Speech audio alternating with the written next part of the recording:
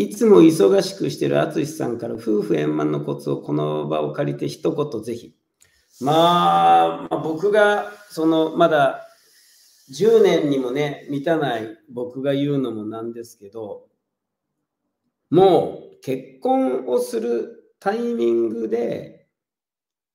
僕はですよ、喧嘩をするような人とは結婚しないって決めていたので、うん、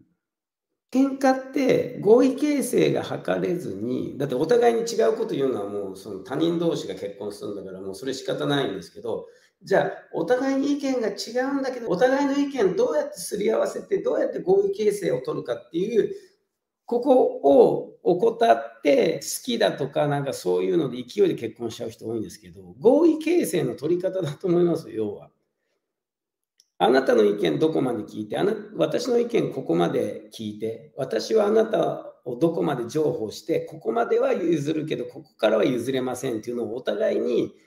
信頼関係を持って言い合える。しかもそれは喧嘩ではなく、きちんとした言語で。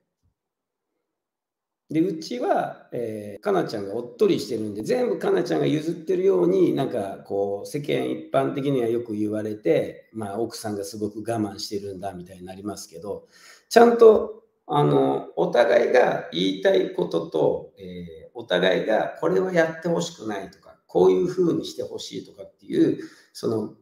意見は違うんだけど、一つの夫婦としての目的、目標、ここに行こうっていう、そのベクトルは一緒になるので、ここだと思うんですよね。で、このベクトルを合わせることができないってなったら、もう分かれるしかないんで、こう矢印がこう こっちになったら、こっちの意見とこっちの意見を何かしらでこう合わさないと。そしたらほら、交わるんで、どこかで。だけども、これがもうこっち側になったらもう交わりようがないですよ、これ。で、時間が経てば経つほど、ほら、離れる。離れていくでしょ。ということだと思うんですが、